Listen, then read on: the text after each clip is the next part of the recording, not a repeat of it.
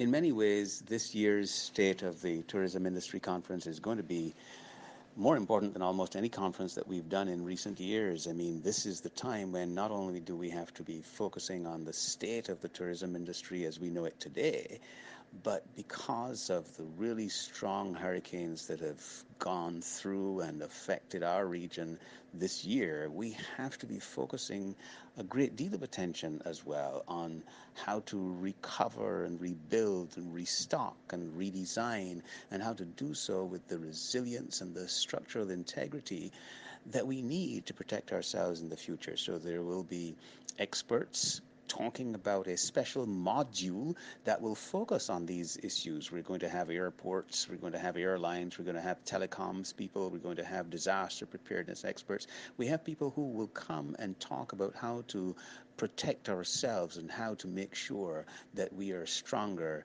as a region going forward. Then, of course, there are those that are not affected, were not affected at all by the hurricanes, not initially anyway by the impact, but you might say we're collateral damage because the messaging that gets out into the overseas market really isn't always clear in terms of which countries were affected and which were not. And I think also we have learned, certainly by some of the social media messaging and so on that we've seen in recent times, that the messaging can be as harmful as a hurricane itself. So we these are issues that we really have to face and be prepared to talk about. I say talk about because this SOTIC in Grenada is going to be as interactive as any that we've ever had. Anyone with anything to say should say it at the SOTIC. So October 9 to 13 is when we will be in Grenada. Grenada itself has done an incredible job of getting prepared for this